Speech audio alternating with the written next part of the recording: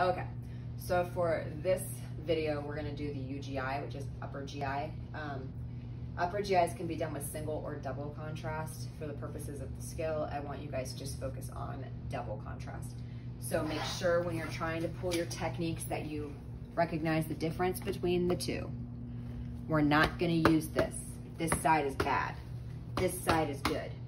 You guys will learn this in lecture, but there's a major difference between uh, the kVp that would use for single versus double. Single is gonna be 100 to 125 kV because there's no air there. It's just all barium, so it's gonna absorb more of those photons. Whereas barium and air, so a double contrast, is gonna be 90 to 100, and that's because now we've introduced air and we've removed some of the barium. So we still need a higher technique than we would typically do for soft tissue, um, but not as high as we would for single. So double contrast, we want 90 to 100 kV, and then the medium patient, we're just gonna do 15, 15 mass. So over here, the very first thing that I am gonna do is make sure that I'm selected to table grid, which I am. Again, with this room, make sure that you are on table grid. That is tabletop. It is two different things. This isn't gonna fail you, but it will give you points. So we wanna make sure that we're at table grid. We're at a large focal, so I'm gonna bring this up to 90, and then I'm gonna bring this down to 15 and then we're gonna go into the room and get that set up. So, in 428, which is where you guys are gonna be doing your UGI, it's a DR room. So that means that the the IR is retrofit into this. There is no cassettes. You guys do not need to pull cassettes out. Um, for the cassette orientation, I want it to be an 11 by 14 portrait. So land or portrait, so lengthwise, lengthwise portrait, 11 by 14. Um, the textbook says 10 by 12, so 10 by 12 to 11 by 14, but I wanted 11 by 14 so that you guys have a little bit more margin of error. So moving on in. Just get this out of the way for a minute. We are gonna start with the LPO. From there, we're gonna go into the AP, and then we're gonna do the right lateral for the UGI. So just like we kind of talked about with esophagram, when we're talking about the UGI and where we're gonna place our bucky, um, you wanna set yourself up for success early on. So with the UGI, it's not up in the neck like the esophagus is, but it is in the upper, I would say upper fourth, it's like in the top two fourths of the body. So we wanna kind of have our bucky set up so that it's gonna be in there because if you have it all the way down here or all the way at the top, you're gonna have a really hard time getting your patient over that. When we have our patient lay down, again, your stomach is on the left-hand side of the body. So when you're doing an LPO and when you're doing the AP, you're gonna have to center in that direction. So make sure that you give yourself enough room with the patient on the table so you're not having them scoot all around the table try and get that image. Because So you want them to be laying on the right side more, a little bit more on the right side of the table. If they're on the left side too much, um, it's going to create an issue where now they're going to be straight and then you're going to have to have them physically move themselves over because this table only goes so far to the right. So if you have your patient and they're on this side, that's not detented. All right, Hannah is going to be my lovely patient again. I'm going to have you lay on your back, head on the pillow. First thing I'm going to do is check to make sure she's straight. Now, um, one of the things I want to point out with obliques that can impact what you're doing. If you have a patient who has a booty, okay, um, and they're slimmer here, the butt, basically, that soft tissue there is going to create more of an oblique in the hips than it will in the shoulders, which will be a problem. If you have a patient who's pretty straight down, I would use the big cassette if, there, if there's not a lot of difference between the two. Um, but if you have a patient who um, does have a larger rear end, like is more of a Kim Kardashian, uh, then I would use the smaller one, um, just like the shorter one. These are good ones to use for this room, uh, for the UGI, because these are gonna be a little bit more sturdy than maybe the blue one or the yellow one is, which I don't know where, they're in the other room. So from here, I'm just gonna make sure that she is laying straight on her tip in the table. She is, we are good. Sorry, I'm running into you, Sean. So from here, I'm gonna give her very specific rolling instructions, obliquing and rotation instructions. I'm gonna bring this right arm across your, and bend that right knee. And then on the count of three, you actually look like you were, we're gonna find out. We, you guys may see me have to adjust her. Uh, I'm gonna have you roll to the left. Not yet. One thing to pay attention to, your patients are gonna be afraid they're gonna fall off the table, so just hold them so that they feel a little bit less scared. Just don't let them fall off the table. Okay. On the count of three. One, two, three. We want her to roll as a log. All right, come back down. All right, perfect. Now, her hips are a little bit more oblique than her shoulders, so we're gonna fix that. Roll up, back. Now we're good. Okay. Unbend this knee a little bit, and then bring this arm back. This is a pretty steep oblique. If you look at the shoulder, so this is 90. Look at where the shoulder is in relationship to where 90 is, and look at where the hip is. She's probably at closer to a 60, um, 65. A 60 would actually be not available because it's a 30 to 60 degree oblique for the LPO for the UGI.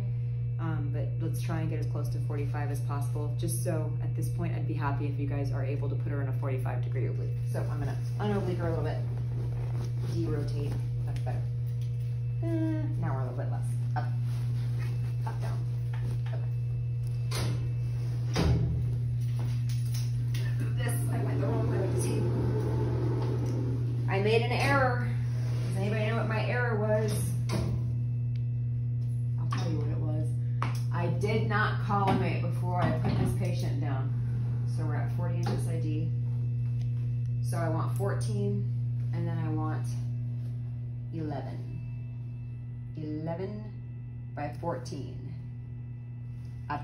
At the 40 inch SID. And there we are.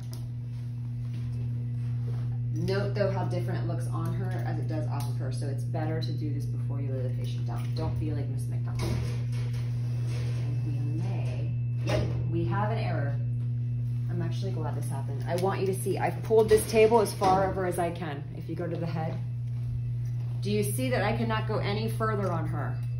That's gonna create a problem when I'm trying to position. This is why I told you to have the patient lay further on the right side. As for me, this isn't an issue because I've done this before so I know how to adjust it. But for a student who's in skill and is already stressed beyond belief because it's a double skill day, this is an error that we want to avoid at the jump so that you don't have to critically think your way through this in addition to the two million other things you guys have to think of on a skill. I'm just gonna move her back a little bit towards me.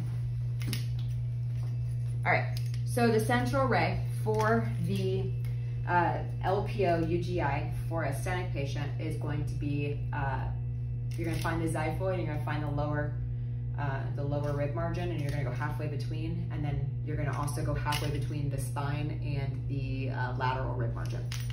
So here is her, her, excuse me, lower rib margin. I'm gonna probably just use this side. And her xiphoid's right here, so we're just gonna come up a little bit. And then halfway between the two. Now remember again what we're projecting. We're projecting the stomach. She is at an angle right now. So her spine is actually about here. It's a little bit more posterior because she's at an angle. She's, she's, her body is literally at an angle. So right now, we're gonna have elongated ala here. The ribs, the posterior ribs here are gonna be more elongated. The right ala is gonna be foreshortened. The right ribs are gonna be foreshortened. Um, and then we're moving that stomach this way. So if I were to take a slice right now and I were to just stick a ruler in between the two, right there, I'm gonna intersect with the stomach on the way down.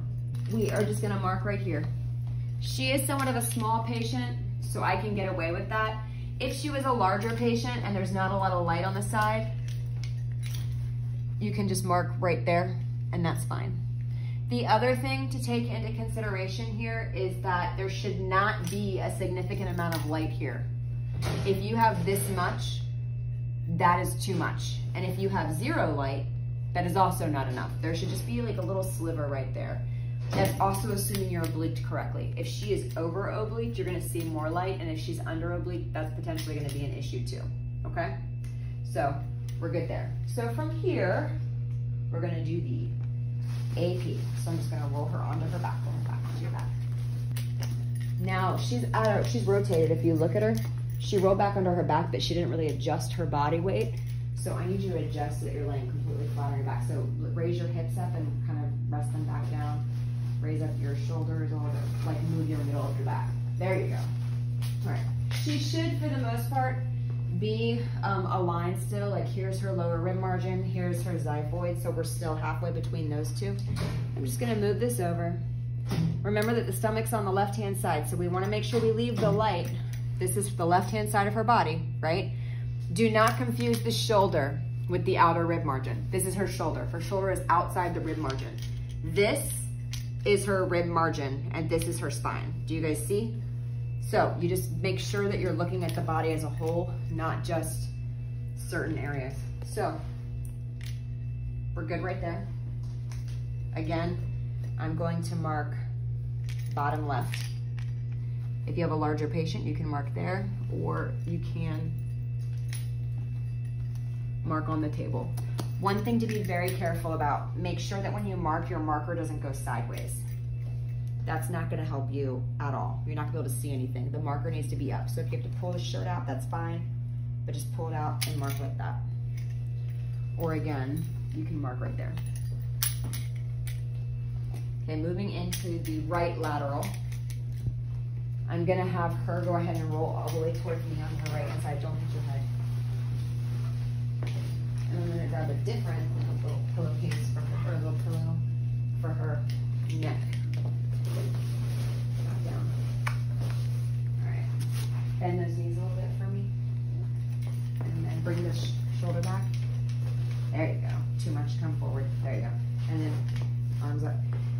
Careful. She just like went karate kid. Be very careful that we don't tell our patients to bring their arms up like they're praying um, because that could offend somebody. All right, arm down, and right there, right there. All right, and then arm up a little bit. It could just offend. Remember, again, it's patient care, right? So we always want to be inclusive towards our patients, no matter what. So just read the room, read the patient. If your patient has a cross on, that might be a good time to tell them to bring their hands up like they're praying. If you take a cross off of them, just be, read your patient, read the room. Okay. All right. So from here, we want to find the lower rib margin, which is here. We want our central ray to be there, which it is. And then we want to find mid coronal, just here, and then we just wanna come forward about one to one and a half inches anterior, right marker. Now, I have a lot of light here that I don't need, so I'm just gonna bring it back a little bit because I can. Another option is to collimate, but that's okay. And then we're gonna mark bottom right. Right there is fine. Or again, if you have a larger patient, you could just pull this out, mark there. Again, just be careful it doesn't go like that because that's gonna create a problem. Okay? Okay. And again, very wide collimation. You could, if you felt brave, collimate in a little bit. And that is the UGI. Now, one point that I wanna make with the UGI is the like patient prep instructions. So with the patient prep, one of the biggest things is that we wanna make sure that our patient is NPO for eight hours prior, okay? Um, that includes smoking, that includes coffee, that includes water, that includes anything that is going to involve any type of liquid or anything going into the throat at all. Smoking, liquid, or not liquid, but smoke, I guess, can go into the into the throat.